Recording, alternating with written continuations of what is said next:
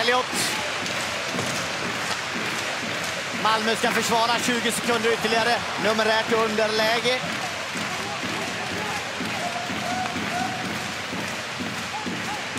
Max Friberg har vansinnigt ont eller har tappat skridskon eller vad är det?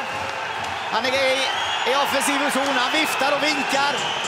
Nu hjälper Malmöspelarna han. Det var ju ändå fint. Vad hände? Är det, är det skada eller är, är det utrop? Nej, nej, nej. Han har våldsamt, våldsamt ont. Eller? Jo, någonting har hänt. Och han... Aj, aj, aj för Frölundas del. Oj, oj, oj. Det händer någonting ner i ena hörnet. Roger Rönnberg grinar illa. Max Friberg grinar mest illa av alla. Eh, sen fanns det något vackert i det här, för Max Friberg direkt kände att någonting hade gått åt skogen. Det var ju nästan så att man får för sig att typ en hälsena eller någonting. Men nu gissar jag, det ska jag sluta med direkt. Eh, någonting hände. Två Malmöspelare åkte dit när de såg det till slut att och hjälpte Max Friberg av isen.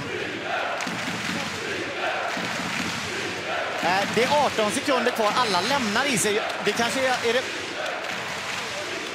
Vad hände i det där hörnet egentligen? Att... För lämnar man isen så blir man ju så här, är det blod på isen? Har det med det att göra? Eller? Ja, det har det. Nu ser jag att det rinner. Jag ser att det finns blod utefter hela den sidan.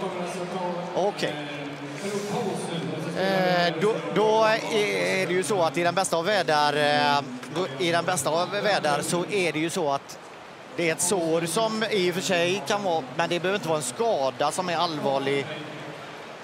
Men, men det har kommit så mycket blod alltså, så att det är anledningen att den här perioden avbryts. Vilket är högst ovanligt.